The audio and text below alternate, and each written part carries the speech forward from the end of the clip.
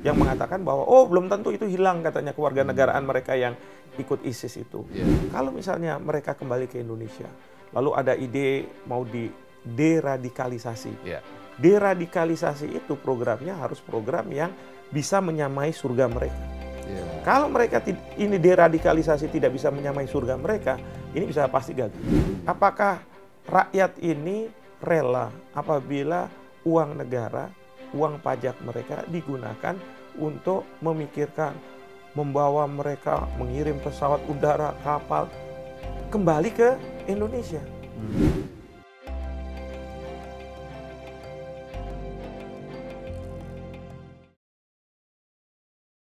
Jumpa lagi dengan saya Abdul Kohar di Newsmaker medcom.id, cerdas dan bernas.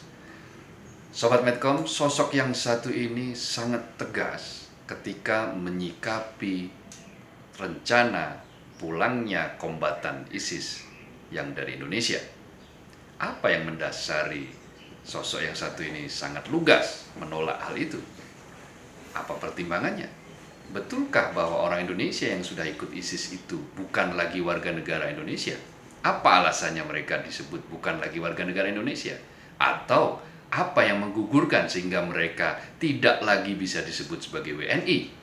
Nah, untuk mengorek semua itu, ikuti perbincangan saya dengan pakar hukum internasional dari Universitas Indonesia, Profesor Hikmahanto Juwana.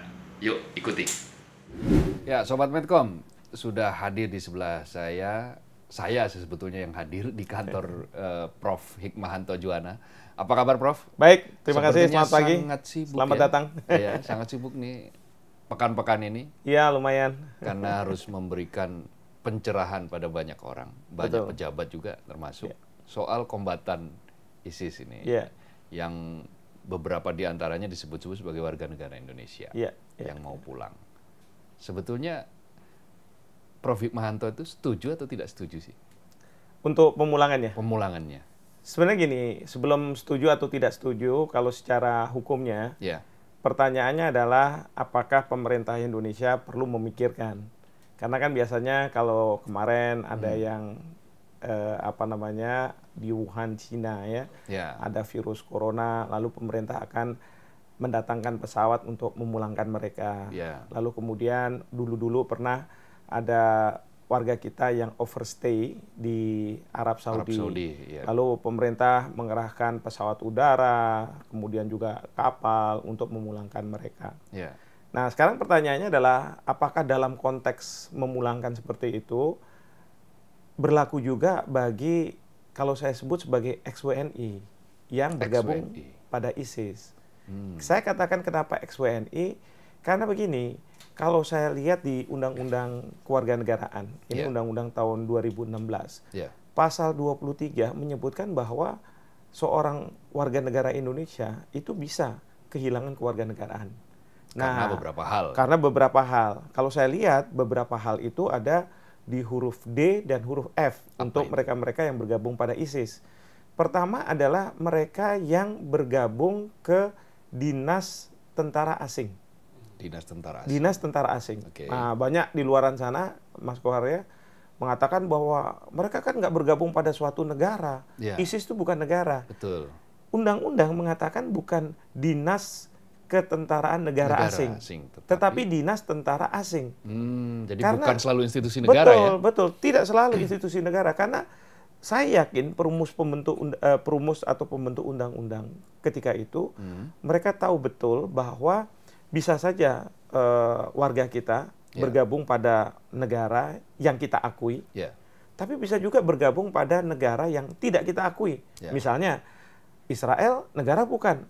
Amerika mengatakan negara, tapi kan Indonesia tidak mengatakan bahwa itu negara. hmm. Sementara Palestina kita mengatakan negara, tapi Amerika Amerika tidak. tidak, kan Ya, gitu kan? ya, ya, Apalagi Republic of China, Taiwan, ya, ya kan? Dia mengatakan saya kami ini negara, tapi Indonesia, Amerika tidak mengakui karena kita mengakui People's Republic of China. China ya, Belum lagi eh, yang masuk ke dinas tentara asing itu kan bisa juga masuk ke dinas tentara pemberontak asing Hmm. dari suatu negara ya, ya kan? Jadi menurut saya pembentuk undang-undang memang secara sadar mereka menentukan dinas tentara asing bukan uh, negara gitu ya, tidak hmm. menyebutkan dinas tentara negara asing. Yeah, yeah. Nah dalam konteks seperti itu maka menurut saya ISIS ISIS ini memang kita tidak menganggap negara dan kita tidak pernah menganggap itu negara. Buktinya yeah. kita kan juga nggak meminta mereka membuka Betul. Diplo, apa namanya ya. kedutaan besar kedutaan, di Indonesia ya. kan begitu kan.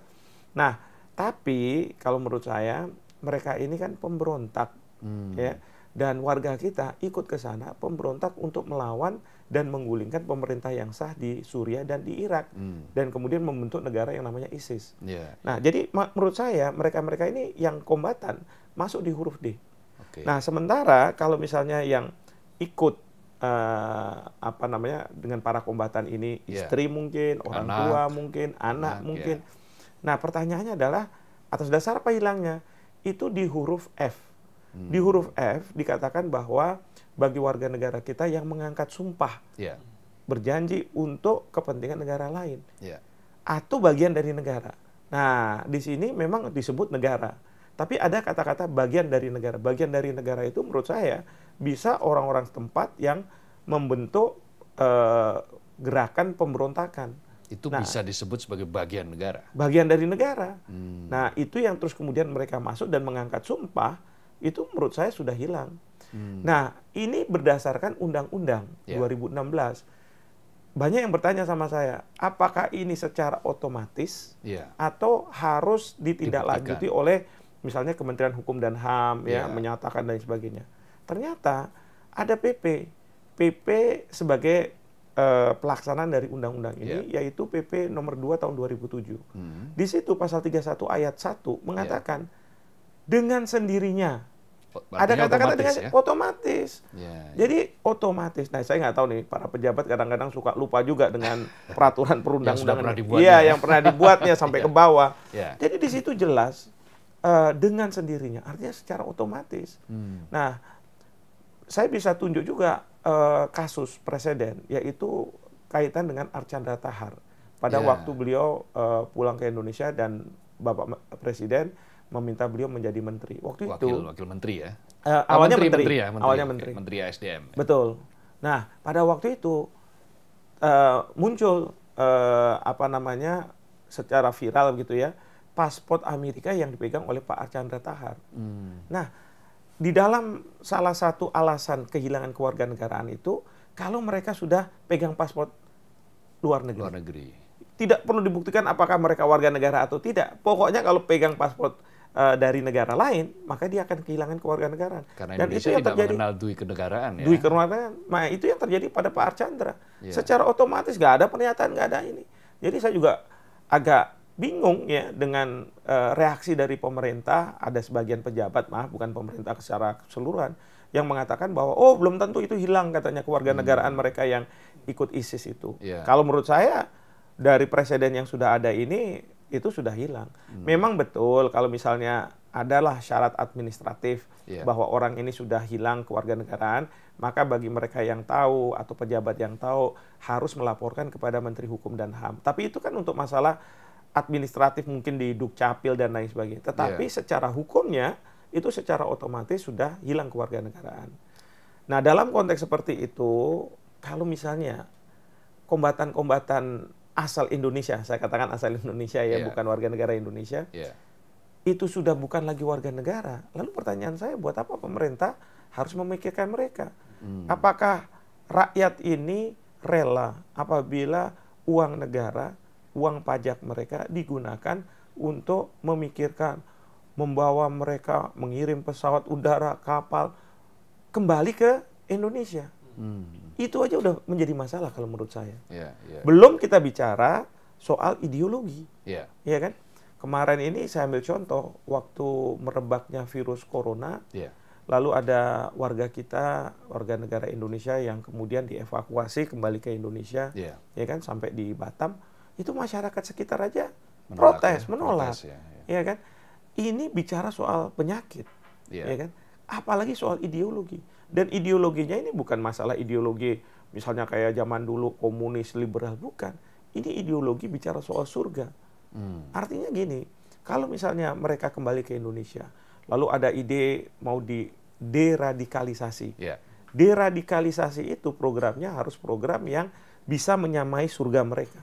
Ya. Kalau mereka ini deradikalisasi tidak bisa menyamai surga mereka, ini bisa pasti gagal. kita. Karena surga itu tidak bisa ditebus dengan apa pun ya. Persis. Kalau dalam dalam konteks ideologi. Persis. Nah, kalau misalnya gini, kita bandingkan dengan negara lain. Iya, Beberapa negara. Tahun lalu bulan Agustus eh, Jerman sudah mem- me- membolehkan pulang ex-kombatan ISIS ke Jerman. Lalu ada beberapa negara yang lain di sekitar kita juga ada. Nah, awalnya kan dari seruan bahwa keluhan dari beberapa negara, termasuk dari Suriah yang mereka bingung bagaimana ini mengelola anak-anak dan eh, perempuan khususnya. iya. Apakah itu bisa dijadikan sebagai pembenar, sebagai perbandingan? Ya, kalau saya eh, katakan ini tentu nggak bisa apple to apple. Ya, pertama gini, memang ada praktek-praktek dan kita harus lihat ini secara detail prakteknya itu seperti apa. Ya, Saya ambil contoh misalnya di Inggris. Ya. Di Inggris itu ada pengantin eh, warga negara Inggris keturunan Bangladesh. ya, Dia pergi eh, ke Suriah bergabung sama ISIS. Lalu kejadian seperti sekarang, ya, eh, dia ingin kembali. ya. Tapi pada waktu merebaknya banyak apa namanya teroris fighters yang pergi ke Suriah ini, itu pemerintah Inggris sudah menyatakan, eh wargaku kalau misalnya kamu pergi ke sana, kamu akan hilang kewarganegaraannya. Di awalnya sudah Di awalnya sudah announce dibilang ya? di announce kayak begitu. Iya. Sehingga ketika eh, yang bersangkutan ini setelah beberapa tahun mau kembali, mereka datang ke pengadilan minta supaya kewarganegaraannya dihidupkan kembali. datang ke pengadilan Datang dulu. ke pengadilan. Ya. Nah, tapi pengadilan Inggris kemarin yang saya baca uh, akhirnya menolak, Menolak, tidak ya. mau, Ya. ya. Dan karena yang bersangkutan ini keturunan Bangladesh, maka ya silakan itu urusannya Bangladesh.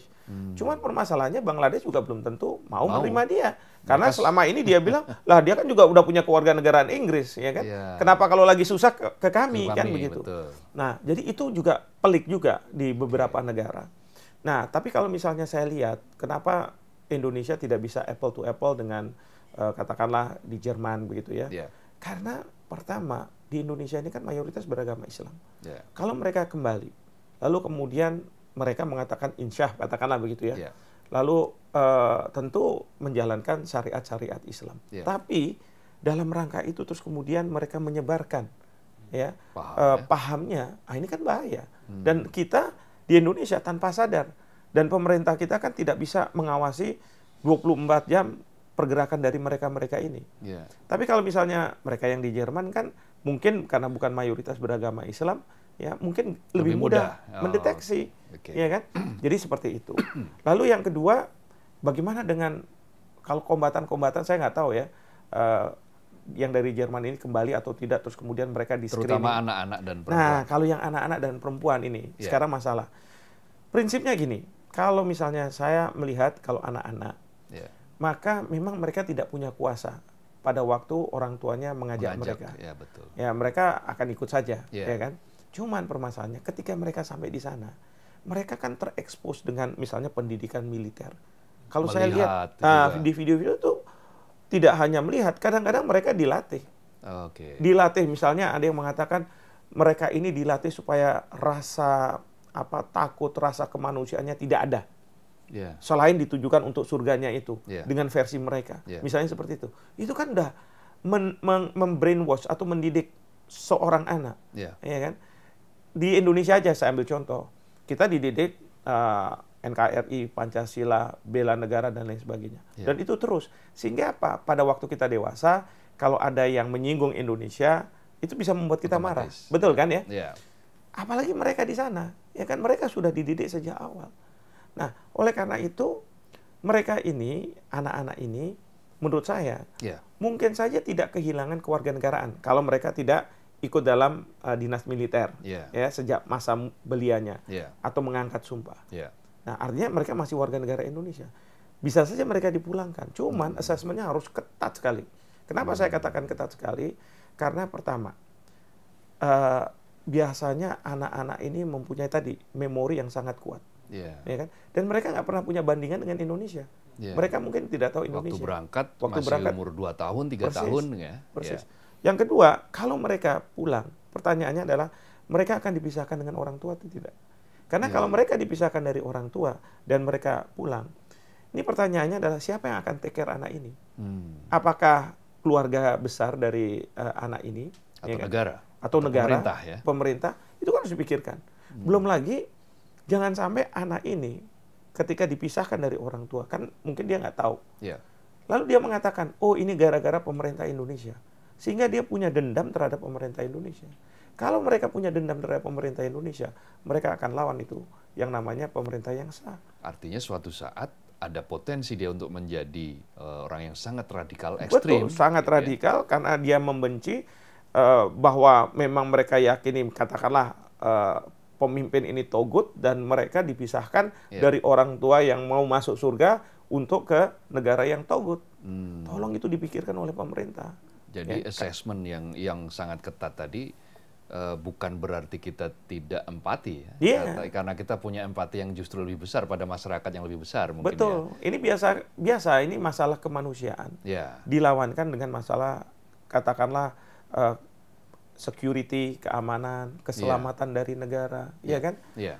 Negara seperti Amerika Serikat yeah. yang disebut sebagai kampion dari uh, hak asasi manusia. Yeah, Tapi mereka pada titik tertentu kalau keselamatan negara mereka terganggu, maka mereka akan mengabaikan tuh yang namanya hak asasi manusia. Hmm. Ya kan bagaimana privasi orang-orang uh, di Amerika di telepon dan lain sebagainya itu bisa disadap, disadap oleh ya. uh, pemerintah dalam rangka mengantisipasi yang disebut sebagai terorisme ini. Hmm, hal yang sama juga bisa mungkin terjadi ya dengan Indonesia. Jadi Betul. kan ini kan beberapa pekan terakhir ini kan selalu dikembangkan ya, diviralkan. Hmm Eh, gambar-gambar uh, video wawancara hmm. misalnya BBC mewawancarai ada seorang hmm. anak yang uh, dibawa bahkan bapaknya pun dia uh, menyesal hmm. uh, telah ke ke, ke Suria yeah. uh, kemudian dia juga akhirnya mengakui bahwa itu salah hmm. apakah hal-hal semacam ini tidak cukup ya kalau menurut saya sih uh, tidak cukup ya yeah. karena bisa saja pada waktu diwawancara dia sudah ke ingin uh, punya tujuan tertentu hmm. sehingga dia akan uh, membuat sedemikian rupa sehingga orang di luar itu akan berempati. Empati. Uh, ya, saya punya kok, saya punya iya. teman yeah. yang kebetulan uh, dia ada di dalam penjara, lalu yeah. kemudian ada media mau datang, yeah. lalu dia akan berpura-pura hmm. kesedihannya atau yeah. misalnya dia sedang uh, sangat kusuk menjalankan agamanya gitu yeah, kan. Yeah. Uh, tapi kan untuk kamera aja karena dia tahu kamera mau datang. Hmm. Jadi kalau misalnya BBC datang terus kemudian menyorot seperti itu, yakin nggak kita bahwa apa yang disampaikan itu betul? Tulus, Tulus. original. Iya original, ya. ya kan? Karena bisa saja mereka tahu, oh ini BBC, oh ini saya mau uh, memberi tahu kepada dunia bahwa saya menyesal dan kalau bisa saya minta kembali, hmm. ya kan? Padahal ada juga yang ayahnya itu mengatakan bahwa ya dia nggak tahu apa yang dia lakukan. Ini yeah. merupakan kesalahan terbesar bagi saya, yeah. ya kan? Yeah. Dan juga perlu diingat ya, Mas Kohar ya, kalau saya lihat uh, negara ini juga jangan sampai memberi contoh yang buruk. Terhadap? Jadi terhadap warganya. Uh. Jadi mereka bisa pergi ke luar negeri, ikut di dalam suatu kejahatan katakanlah di luar negeri. Yeah. Lalu ketika semuanya gagal, lalu mereka bilang ah diperbolehkan pulang hmm. Republik ini akan uh, membuka tangannya lebar-lebar. Kan nggak benar kalau kayak yeah, gitu. Yeah. Ini dengan alasan apa pun ya? Kalau menurut saya iya dengan alasan apa pun. Kalau iya. misalnya yeah. kalau soal uh, supaya masyarakat kita terlindung dari misalnya ya virus corona atau misalnya uh, overstay dan lain sebagainya, iya bolehlah saya hmm, bilang, hmm. ya kan. Tapi ini mereka sudah melakukan kejahatan. Saya kadang tanya sama teman-teman yang membela hak asasi manusia mereka. Saya bilang, pada waktu mereka memenggal kepala orang, pada waktu mereka membunuh orang, apakah mereka ya berpikir sama dengan kita alasan kemanusiaan? Hmm. Lalu kenapa kita ya sekarang ini mendengar kayak begini langsung empati kita muncul? Yeah. Dan menurut saya wajar empati seperti itu muncul. Tapi tolong itu harus dibunuh kalau kita melihat jangan-jangan negara ini bisa punah. Hmm. Jangan-jangan hmm. bangsa ini bisa tidak ada. Artinya sebetulnya eh, itu mestinya pemerintah melakukan counter dengan memberikan informasi ini loh akibat korban yang sudah dilakukan oleh kejahatan sebuah betul sekali. kelompok gitu ya. Betul sekali. Nah dengan begitu biar empatinya kepada korban bukan kepada korban. bukan kepada pelaku ya. Betul sekali, betul. Nah, bagaimana dengan pelaku dan lain sebagainya? Saya katakan satu karena mereka ex warga negara Indonesia, ya, ya kita kan juga tidak bertanggung jawab. Nah biarkan mekanisme internasional sekarang yang bekerja. Hmm. Saya juga nggak tahu seperti apa, Ya, ya kan? ya. Biarkan UNHCR misalnya, PBB yang Ya. berpikir, biarkan negara Suriah atau eh, Irak, Irak, yang ya. memikirkan ini, Ya. karena bukannya tidak mungkin mereka-mereka ini sebenarnya dicari juga oleh eh, otoritas di S- Suriah dan di Irak, Hmm. ya kan? Mereka harus menghadapi proses hukum di sana. Ya. Ada yang mengatakan, udahlah kita bawa aja ke Indonesia. Tunggu dulu, TKP-nya di sana, Ya. alat bukti di sana. Ya. Kalau misalnya nggak ada kerjasama antara kita, otoritas kita di Indonesia dengan otoritas di Suriah, di Irak, bagaimana bisa membawa alat bukti? Bagaimana bisa membawa em, apa namanya saksi-saksi? Ya. Nanti kalau dibawa ke sini, ya kan, itu semua nggak ada, akhirnya mereka bisa bebas, Hmm. tidak bersalah, Ya. ya berkeliaran lagi nanti. Ya. Nah, jadi itu yang harus hati-hati. Kalau menurut saya, biarkan mekanisme internasional yang berjalan. Ya. Toh masalah ini bukan masalah Indonesia saja. Ya. Ini masalah antar negara. Semua apa negara, masyarakat internasional itu punya concern. Silahkan mereka nanti cari solusinya. Ya. Bahwa pada satu titik nanti, ya saya nggak berharap eh, dalam waktu dekat, Suriah atau Irak bahkan PBB mengatakan, udah kita nggak bisa menghandle ini. Tolong negara-negara kamu pikirkan ex warga negara kamu mau diapakan ini. Hmm. Nah baru di situ kita mulai berpikir eh, rencana apa yang harus kita lakukan. Karena kalau yang sekarang ini terlalu prematur menurut saya. Bukannyakah sudah ada semacam imbauan dari Hmm. dari PBB gitu ya? Hmm. Artinya untuk terutama ya bagi anak-anak dan perempuan Hmm. yang mereka eh, bapaknya atau saudaranya jadi kombatan Hmm. eh, untuk kemudian ikut memikirkan negara-negara yang asal di mana orang itu pernah datang. Iya, bisa kita ikut memikirkan untuk mereka anak-anak gitu ya. ya. Nah, mekanismenya. Tapi kan kita harus sampaikan itu ke PBB. Bukan kita langsung memikirkan terus kemudian bawa pulang langsung gitu. Tapi kita serahkan pemikiran kita ke PBB. Ya. Biar nanti usulan-usulan dari berbagai negara ini itu dikaji oleh PBB. Sehingga apa? Semua negara punya kebijakan yang sinergis. Hmm. Ya kan? Jangan kemudian main salah-salahan. Iya kamu, kamu kayak misalnya Inggris dengan Bangladesh gitu Iya, kan. iya, iya. Nah, semua negara harus eh, sinergis dalam menyelesaikan permasalahan ini. Jadi lebih kepada concern kepada bagaimana pengungsian mereka, Iya.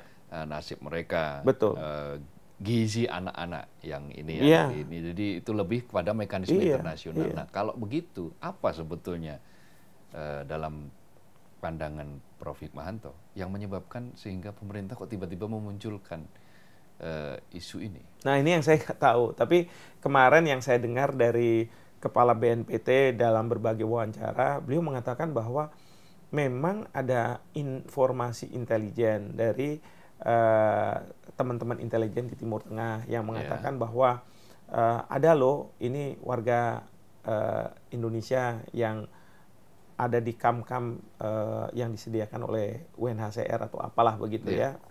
Lalu kemudian ada juga wartawan, iya tuh Pak ada WNI WNI gitu. Lalu atas dasar itu BNPT eh, melakukan analisis mungkin, tapi masih belum sampai tuntas ya. Lalu kemudian mungkin pada eh, saat ada Bravo 5 kalau saya nggak salah, Iya, eh, deputi salah satu deputi BNPT menyampaikan hal itu ke Pak eh, Pak Fahru Rozi, tapi Iya. kan bukan sebagai Menteri Agama. Lalu Iya, beliau iya. menyampaikan bahwa ini harus gini-gini. Nah, mungkin di situ ditertangkap Oke. isu bahwa reaksi sesaat reaksi ya. sesaat. Ya, Sebenarnya ya. bukan kalau saya perhatikan ini bukan ada permintaan dari negara-negara Irak dan Apakah Irak, Syria Syria, ah, atau apalagi atau dari PBB. PBB gitu Ya. nggak ada Jadi ini betul-betul karena reaksi sesaat sesaat. eh, memandang melihat jangan-jangan betul bahwa Betul. dia adalah warga Indonesia. ya. Betul. Ini. Sehingga apa? Prematur. Dan Ah. sampai di sini ini ya mohon maaf ya. Kita ini kalau udah kembali ke isu yang kayak begini, ini suasana Pilpres muncul lagi gitu kan. Oh, Ah, ah, jadi iya, iya. mungkin ada yang mengatakan bahwa ah, mereka yang tidak mendukung Pak Jokowi ya harusnya kembalikan lah. Ini semua kan gara-gara Amerika Serikat juga gitu kan. Iya. Mereka-mereka ini orang tidak berdosa. Iya. ISIS itu dibuat oleh Israel, Amerika dan lain sebagainya. Ya. Lalu eh, bagi mereka yang eh, apa namanya mendukung Pak Jokowi, mintanya jangan, pokoknya jangan boleh masuk gitu kan. Hmm. Nah jadi kembali ke suasana seperti itu, yang Iya. menurut saya ya kita semua tidak sehat kalau cari ya. kontraproduktif. Hmm. Kita harus memikirkan ya keselamatan dari negara ini, Hmm. ya keselamatan dari bangsa ini. Kita kepingin bahwa ya seperti sekarang ini tidak ada kekerasan, tidak ada kemudian uh, hantam-hantaman antar katakanlah uh, umat beragama, bahkan yeah. antar umat Islam sendiri. Yeah, gitu. yeah. Jadi kan uh, bagaimanapun kan ini istilahnya kan warga kita sudah sempat ada yang ikut sampai jumlahnya banyak. Gitu. Yeah. Nah, apa kelemahan mendasar dari kita dalam konteks relasi ini sehingga banyak warga kita yang tiba-tiba kemudian bisa dengan bebasnya ikut ke sana? Iya, sebenarnya kalau menurut saya sih memang dua hal. Pertama adalah masalah kemiskinan. Uh, karena mungkin juga mereka dijanjikan kalau misalnya hijrah ke tempat yang baru di ISIS ya. sana mereka akan lebih baik. Jadi artinya surga dalam pengertian dun surga dunia, dunia dapat, surga dunia. Nah, surga nah, yang nah yang kedua, ini. ah ini dia masalah kedua adalah uh, terkait dengan masalah keagamaan. Tentu ya. saya tidak menentang ya kalau misalnya uh, masyarakat kita itu sangat kusuk dalam menjalankan uh, agama mereka. Ya. Uh, kemudian mereka memasrahkan diri kepada yang kuasa begitu yeah. ya. Cuman kan uh, ajaran-ajaran ini harus yang benar gitu yeah. kan. Kalau misalnya ajaran-ajaran ini terus kemudian ada berbau kekerasan, kita uh, bisa membunuh dan itu bisa membawa kita ke surga. Yeah. Nah, ini kan yang nggak benar. Hmm. Nah, rupanya mungkin mereka-mereka yang seperti ini ini langsung berpikir bahwa oh, kita akan pergi ke suatu tempat di mana uh, negara ini akan menjadi penguasa dari dunia dan serupa sejenis homogen, hmm. ya kan? Padahal kan nggak seperti itu. Yeah. Sampai di sana mereka harus melawan udah cuma Syria sama Irak aja mau dijadikan satu kan oleh yeah, yeah, pandangan betul. ISIS ini. ISIS ya. Nah, ini dimulai aja, dari situ ya. Dimulai dari situ. Itu kan nggak bisa. Hmm. Ya kan? Bulan Maret 2019 akhirnya pasukan ISIS terakhir kalah itu kan. Nah, Terusir. itu. Iya. Bubar iya. semua. Nah, bubar semua. Kan ini tadi saya tanyakan persoalan bagaimana seharusnya uh, negara mengelola ini, tetapi kan tadi disebut juga ada kemiskinan. Ada yeah. ini. Bukankah beberapa di antara mereka ini termasuk orang-orang yang satu cerdas, yeah. karena terlihat dari wawancara di di sebuah stasiun itu di BBC. Kemudian yang kedua, secara ekonomi sebetulnya juga tidak tidak buruk-buruk hmm. amat ketika yeah. di Indonesia. Yeah. Bahkan ada konon-kononnya ada so, uh, ASN, ada yeah. yang yang memang sengaja ke sana. Yeah. Nah ini ini bagaimana? Nah kalau yang itu menurut saya kategori yang kedua yang mau mencari surga. Jadi kalau misalnya kita bicara mencari surga gitu yeah. ya, itu ya, justru lebih berbahaya. Iya, artinya uh, resources mereka, kecerdasan mereka, uang mereka justru bisa digunakan untuk berbagai hal. Yang penting saya dapat surga itu. Yeah dengan cara di dunia ini melakukan berbagai tindak kekerasan hmm. yang banyak menyengsarakan sebenarnya orang-orang yang tidak berdosa. Ya, ya. Hmm. Jadi uh, karena melihat bahayanya seperti itu permanen, maka solusi sekarang yang paling tepat bagi negara apa? Kalau menurut saya ada tiga hal. Okay. Ya. Pertama adalah memberikan edukasi hmm. yang uh, komprehensif, yang efektif kepada yeah. masyarakat kita bahwa janganlah uh, anda-anda yang belum terlibat ikut seperti yang apa yang terjadi di sana. Hmm. Kita ini udah diberi uh, rahmat ke, oleh Tuhan yang Maha Kuasa negara yang seperti ini. Hmm. Ya kan harusnya kita apresiasi itu. Yeah. Itu yang pertama, ya. edukasi yeah. yang terus-menerus dilakukan oleh uh, pemerintah. Yeah. Yang kedua, kalau menurut saya adalah terhadap isu yang seperti ini yeah. ya jangan kita polemikan di dalam negeri ya karena okay. toh mereka juga bukan warga negara ini merupakan concern internasional kita selesaikan di level uh, internasional hmm. uh, sehingga kita bisa sinergi dengan negara-negara lain yeah. bagaimana kita uh, menyelesaikan ini ya, jadi ya artinya kan? uh, Kementerian Luar Negeri lah ya. Ini ya, Kementerian diplomasi betul, ini. betul. Okay. Yang leading sektornya mungkin Kementerian Luar Negeri yeah. gitu ya. Nah, yang terakhir, yang ketiga, kalau menurut saya penting, uh, pemerintah tidak membuat uh, contoh buruk, ya, hmm. dengan mengatakan bahwa kalau misalnya ada warga negara kita yang melakukan tindakan seperti ini, teroris fighters ini, yeah. suatu ketika nanti kita akan bisa terima mereka kembali, hmm. ya kan?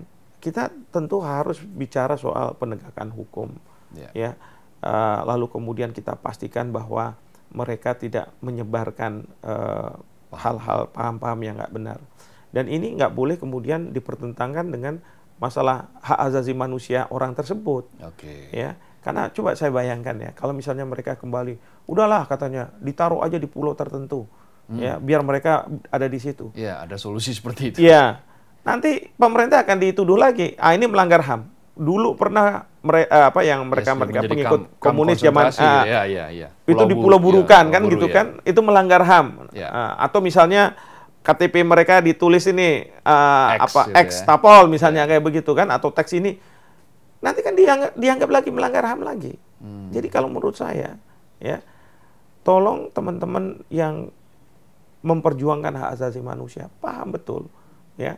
Ketika mereka mem memperjuangkan hak asasi manusia, yeah. harusnya mereka memperjuangkan mereka-mereka yang tidak berdaya katakanlah. Yeah. Tapi kalau mereka ini bukannya tidak berdaya, hmm. mereka atas pilihan mereka sendiri, lalu kemudian mereka dididik di yeah satu tempat di mana mereka jadi seperti itu. Yeah. Lalu kenapa mereka berteriak-teriak soal hak asasi manusianya? Yeah. Yeah. Ya, ini kalau menurut saya nggak apa namanya setara kalau misalnya negara kan juga punya tugas untuk melindungi segenap Betul. warga negara. Betul. Nah, dalam konteks melindungi ini kan berarti uh, melindungi segenap yang lebih banyak itu kan lebih lebih besar dalam konteks uh, apa kepentingan ya, iya. kepentingan yeah. kepentingan yang lebih besar. Betul, betul. Nah, baik Prof Hikmahanto Juwana Terima kasih ini atas waktunya, tapi ini menyita pagi-pagi dan mohon maaf nih ruangannya uh, menarik sekali ini ada banyak buku dan seterusnya. Ini buku-buku koleksi lama semua. Iya, jadi sejak waktu saya masih mahasiswa S1 di UI. Di UI ya. Ya, kalau saya beli buku selalu saya simpan karena oh, gitu, ya. saya ya. itu mungkin juga sudah ada apa ya intuisi mau jadi dosen gitu ya. Oh gitu. Jadi sejak kuliah itu sudah. Sejak kuliah ya. Oh, kira -kira Buku itu adalah ilmu. Jadi, jadi modal gitu. saya, investasi saya. Jadi okay, ya okay, akhirnya okay. dikumpulkan. Alhamdulillah bisa sampai banyak kayak begini. Ya, ya. Bingung juga ya ah. naruhnya di mana. Ya sudah akhirnya ada tempat. Dibikinkan rak-rak begini ya. Dibikinkan rak, ya. terus kemudian ada katalognya dan lain sebagainya. Berarti dari awal itu sudah sudah sudah membayangkan, oh kelak siapa tahu saya jadi profesor. Gitu. kan ternyata menjadi menjadi profesor termuda ya di ya, alhamdulillah. Uh, hukum, hukum UI, UI kan ya. ya. Menjadi 36 tahun ya waktu itu. Iya, 35 sudah, menjelang 36. Oh, belum 36 ya. Belum, belum 36 ya. sudah uh, menjadi guru besar. Ya. Uh, baik, terima kasih sekali lagi. Sama-sama. Mudah-mudahan kita segera bisa keluar dari kemelut ini dan Insya Allah. intinya kita tidak perlu membicarakan hal yang tidak perlu dibicarakan. Persis sekali. terima kasih sekali, Bro. Terima kasih banyak. Jangan lupa like, share, kemudian komen klik loncengnya juga agar Anda mendapatkan video-video yang menarik dari kami medcom.id baik itu di YouTube maupun di uh, Facebook. Saya Abdul Kohar mohon pamit, sampai jumpa.